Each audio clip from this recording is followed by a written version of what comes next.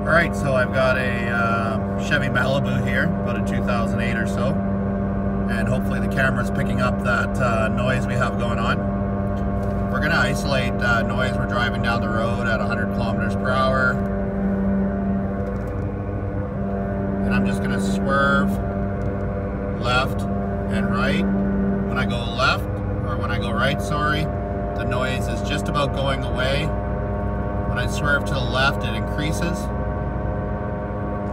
I'm swerving to the right, I'm putting weight on my driver's side front wheel bearing.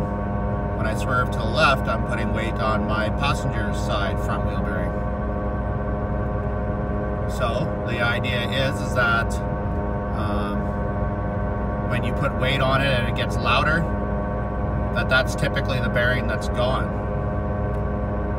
As I sit here though, it sounds like it's coming from the driver's side. This is a pretty bad bearing, so I've been burned um, on the bearing before, diagnosing the wrong side due to this, but um, wouldn't be too surprised if both are making a little bit of noise.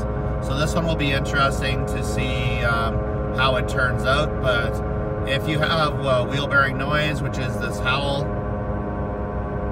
going down the road, this one's pretty bad. You shouldn't wait until it's this bad before you fix it but sometimes people leave it. It's not my car. I'm just gonna bring it into work and fix it for them.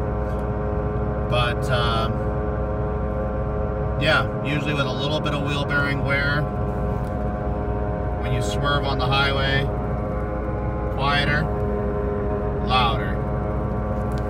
That should be a passenger side wheel bearing.